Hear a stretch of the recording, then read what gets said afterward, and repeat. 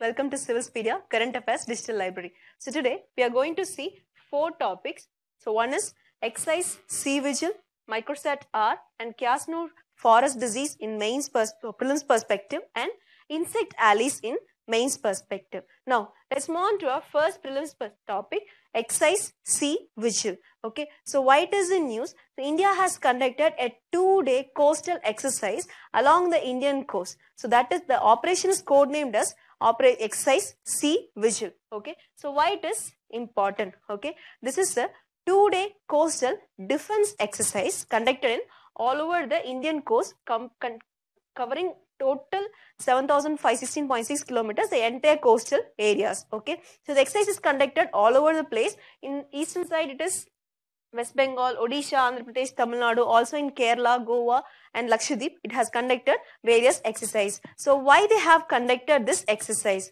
So it is they have to review the maritime preparedness of the country because we have to stop another 2611 style event which is which was held in Mumbai where the terrorist has intruded into Mumbai by acting as an Indian fisherman or Indian community people. So there was a loophole in the Indian Coast Guard system.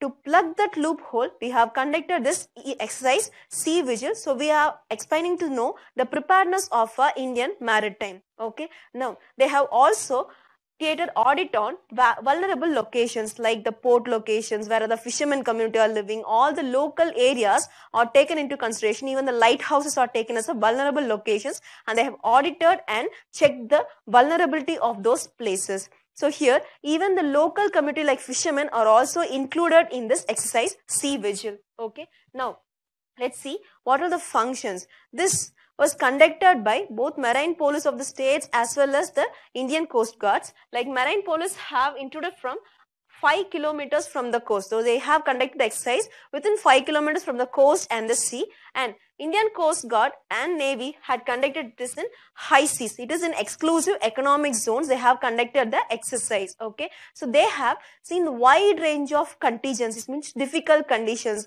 Like they have conducted simulated attacks which means the checking of infiltration from the enemies. There were so many exercises of contingencies that based on simulated attacks okay? And they have followed the code of audit of internal ships and port facility security for, mostly for this coastal locations. So they have created a simulated infiltration that is the enemy intruding into india which is called as the red force and how this indian force are going to thwart this red forces. So that is the exercise. It is bo- both based on shoreward exercise as well as seaward exercise. Okay?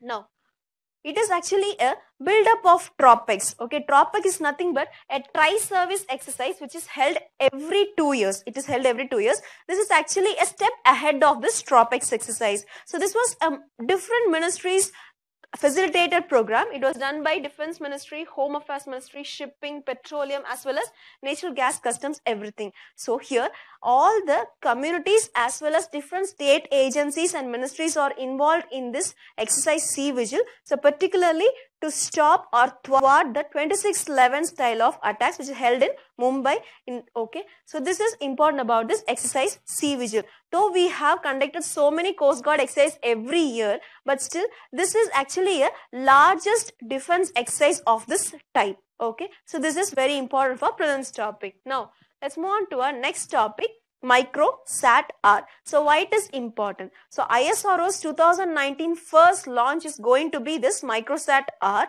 along with another satellite called kalamsat. So that is it. So it is called as pride of place. What i have mentioned is a pride of place because it is a first of a military type satellite okay? It is actually a military grade satellite okay? Along with kalamsat and nano satellite they are going to launch okay? They actually launched and it is successful okay? Now what they had said is it is launched by pslv c44 okay? It is called as pslv dl okay? It is called as pslv dl it is a 46th launch of this pslv okay? It is a 46th launch. And what are the other things in it okay this microsat r is a military imaging satellite okay it is actually launched from satish dhawan space center sriharikota this is going to be the 46th flight we have already seen okay then along with this microsat R, another satellite is also going to be launched, which is known as Kalam Sat. It is prepared by students. Okay, it weighs just 1.2 kilograms, and it is a short-lived satellite. Okay, it is a short-lived satellite. It is going to stay for two months. Okay, and it's going to launch and see the experiments in the space. Okay, now what they have said is this will be launched within 15 minutes. It will go and launch and place in the polar orbit within the 15 minutes of takeoff. So it is a different one. And there are two aspects in this experiment. One is the reuse of wastage, which means ISRO is going to use the spent fourth stage, which is called as PS 4 of the rocket, which is always of waste use. But now this Kalam Sat is going to use this PS4 and conduct experiment. Okay, this is the first important aspect of this experiment. And the next one is it is going to have another one called the lower than any of its civil earth observation spacecraft is going to have a launch space of just 277 kilometer away from the earth. Even it is lesser than ISS which is the lowest earth observatory or spacecraft. But this is a military observatory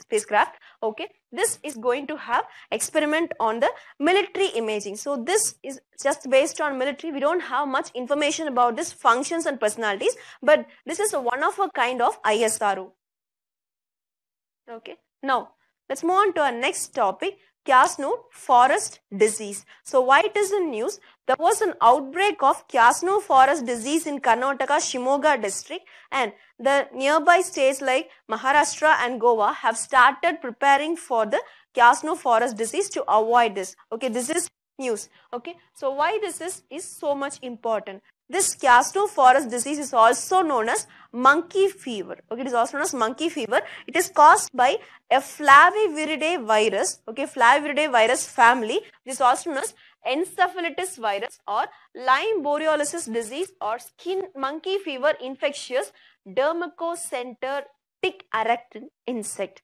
Okay, these are so many names for this insect. It is actually a tick-borne infection. Okay, it is also known as arbo infection which means it was caused by an arthropod. Oh, that is known as arbo infection. Okay.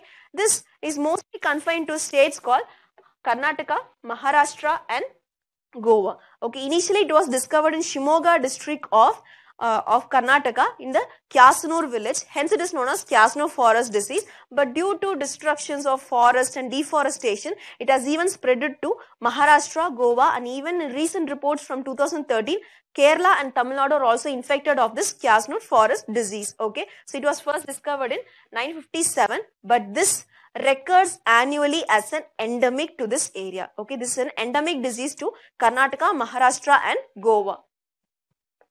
Now, what are things? The transmission. This disease is transmitted from monkey to human or cattle to human. But there is no case of human to human transition. Okay, there is no case of human to human transmissions. Mostly, this disease takes at least 3 to 8 days for incubation. Okay, it develops from 3 to 8 days. Okay, during that time, we have a symptoms of being chill, frontal headache. So, headache in the front part of the head and muscle pain, vomiting and mental disturbances. We feel giddy or nauseating. So these are some of the symptoms. And other symptoms are like abnormal low blood pressure. Okay, abnormal low blood pressure, low platelet, blood, red blood cells and white blood cells counts. So these are the common symptoms of this diseases. But this complication can be rectified within one or two weeks. Okay, the, the Patients can recover within one or two weeks, but the after effect of this disease will be prolonged. Okay, it is that actually takes a long period to fully recover from this disease. So, the fatality rate is actually 2 to 10% for this disease, but due to the negligence of the villagers and other people, the disease is becoming more spread to other areas also because people think it is just a monkey fever and they brush it off and they're not thinking it is a serious issue. Now, what will the treatment involve? Actually, there is no specific treatment for this Kyasanur disease, but only the vaccination can help. Okay, so vaccination can help, but it is only for the endemic areas. Okay, for endemic areas, this vaccination can help. But what they had said is some early medical care and supportive therapies like giving hydration, giving proper rest and medical therapies that will help for this treatment. Okay, then what are the prevention measures? So one thing is we have to spray the insecticides to the cattle regularly in order it is just a tick. The tick can travel longer distance and catch the cattle. Okay? This disease actually caused by the death of the monkey where the tick is present in monkey. Once the monkey is dead the tick will come out of this monkey's body and it will travel to longer distance and it can catch other cattle so though cattle is more susceptible for this disease we have to spray insecticides regularly. And ivermectin injection to the cattle to vaccinate them. Okay it is vaccination. For human it is malathion spray. It is actually as a insect repellent. Okay then we have to destroy the carcass of dead monkey properly. So that is also a preventive measure. And we have to have a good census of this monkey's death properly to know who where are the monkey populations are dying so that we can the preventive measures will be easy. Okay then other thing is there must need to be a two dosage of vaccinations which is taking place with an interval of one month. But the problem here is the people will have vaccination for one time and they'll not turn back for the second time. So that is the most important problem here. Another one is dimethyl phthalate which is a anti-tick okay it is a tick repellent so this is again recommended for preventing the diseases and wearing protective clothing, avoiding contact with dead monkeys and also collecting woods from forest also help from preventing this disease. Hence, this disease can't be cured. Only prevention is the way to avoid this disease. Okay, this is the basic information. But the problem here is the disease which was started in 957 is recurring annually.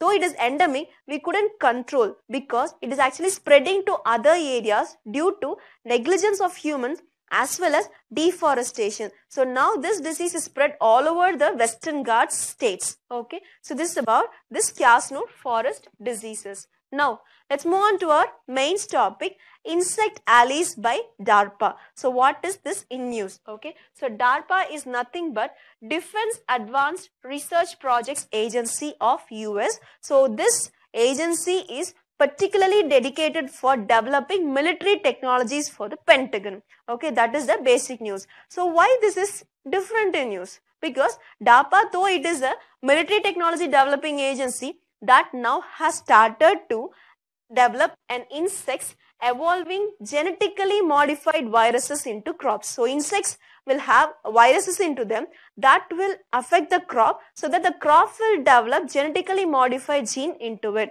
So that is the insect allies scheme. So insect is used as a vector to carry this virus to the crops so that the crop will become resistant, pest resistance or drug resistance. So that is the experiment of this insect allies. This DARPA project is actually going on. It is in pipeline. Okay. But this has seen some notorious criticisms. Okay. So what is that? This actually seems to be an agricultural revolution or it is started as a rapid revolution in agriculture. But DARPA is known for its nefarious character, okay, because it is a military technology development agency. So critics say that it is nothing but an ingenious explanation for lethal weapon system because they can use it as a biological weapon to curb agriculture productivity in other countries. But what DARPA has said is, we are not going to use this technology in any military techniques, but it is for peaceful purposes. And even if you want to use in military techniques, there are some multiple safety layers which prevents us from using military product. But the dual use is definitely going to come. So this is the problem here. Okay. Now, what all they have said? So here, the program is using the pestifier insects like aphids, leaf hoppers and white flies. This actually affects the crops. When this virus is introduced by these insects, the plant will develop resistant. Okay. With the recent introduction of CRISPR, the gene editing technology has also become more cheap and highly potential and improved technology. Hence, this insect allies technology will become a boon. So that's what they had said. Okay. But what they had advocated is this insect allies are not going to target the, the germ lines. Okay, germ lines means the reproductive cells of the plants. Hence, it will it is not a heritable trait. Hence, it's going to stay with that plant alone. So instead of going to high value seeds, we are targeting on the plants of wild varieties or hybrid varieties. Now, so what they're going to do is we are not going to have a permanent trait mechanism, but it is a temporary mechanism which is only based on single growing season, okay, which is going to target only single growing season. So this is the criticism in international arena, but that is a separate news. What India needs to do according to this, okay. So India has an agricultural backbone. India is dependent on agriculture. Most of the population are dependent on agriculture. What if this insect allies turns to be an agricultural warfare? Are we really ready to face this? Okay. Because every technology will have a lure to enhance its power. All the countries around the world are enhancing their military power. But our India is still targeting to a soft power but not to hard power. So for example, China has moved from an era of reverse engineering to create adaptation and now it is going for disruptive innovations. So this is the evolution of the Chinese. So example of this is J-20 stealth fighter. Okay. So when China decides to target any part of the world, it can target and destroys the area within an hour of this decision. So China has become militarily so much powerful. Even that has made USA to think about this biological warfare. Okay. Now, what about India? So we still have this mundane issues of Rafale, Rafale issues, Tejas issues, which are still on third and fourth generation fighter programs. And even we have signed this Wuhan summit and we have waiver got from this CAATSA, which also shows that we are still following the soft power mechanism. Okay. So in order to go towards hard power, which means to develop a military technology, we need some adequate budget. Okay. Adequate budget for the defense as well as we need some intellectual properties development in military. But worryingly, what is there is, according to World Bank, India spends this total investment of R&D only 0.63 percentage for the last 20 years. It has not developed much. Even this three-fourth of this sector is not going for the defense. Okay, definitely the most chunk, the larger chunk of R&D is going to other sector than defense. Okay, but when we compare China, the R&D has improved for defense from 0.56% to 2.07 percentage of its GDP. So we have started in the same place, but China has overtook us. Okay. Then what are all the other things? So what the things which is curbing India, which is we have a false starts in arms acquisition. Wherever we go, we have some issue in the arms acquisition during this auctioning process or the signing process. Everywhere we have some problems. Okay. So we have this defense manufacturing sectors fatigue. That means known as India's fatigue. Okay. To buy any arms. Okay. Then it is evident from the poor participation of topless defense actors in our Aero India and Defense Expo, Expo exhibitions, we have seen a poor participation of global investors in defense sector. Okay. Now, let's see our stories of Germany and Japan's military commitment. So, Germany in 1940s and Japan in early 1920s, they focused on the military technologies that took a decade long commitment for them to develop this military technology. So, when we compare that to India, we need at least not one election, at least three or more regime changes, but with a sustainable defense policy to develop a defense committed military technologies. Okay, then what I had said is this not one election cycle, we have to have a military power builder for a decade long one. Okay, then what are all the other things to say here? This military technology and defense does not come with buying a sniper or fighter jets, but it must need an adequate investment into it. So what we need is a sustainable and indigenous okay sustainable and indigenous intellectual property in defense okay hence the political parties and other members of india must have a bipartisan introspection into this decision and they have to act accordingly based on a bipartisan way okay so this is about this insect allies by darpa so with this i conclude today's topic please like, share and subscribe to our YouTube channel. Thank you.